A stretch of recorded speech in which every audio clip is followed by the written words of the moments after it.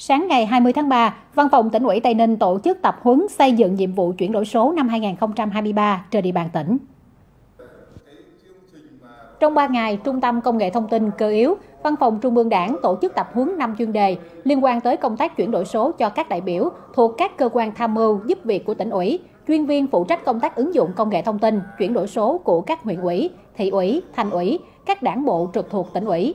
Trong năm 2023 là năm Tây Ninh tập trung thúc đẩy chuyển đổi số của tỉnh trên tất cả các lĩnh vực. Trong đó tập trung thực hiện các giải pháp đột phá về xây dựng và khai thác có hiệu quả dữ liệu số, tăng cường bảo đảm an toàn, an ninh thông tin trên môi trường mạng, thúc đẩy tăng nhanh các chỉ số về cung cấp dịch vụ công trực tuyến, tăng cường sự tham gia của người dân trong hoạt động chuyển đổi số, nâng cao các chỉ số chuyển đổi số của tỉnh, nhất là các chỉ tiêu về kinh tế số và xã hội số.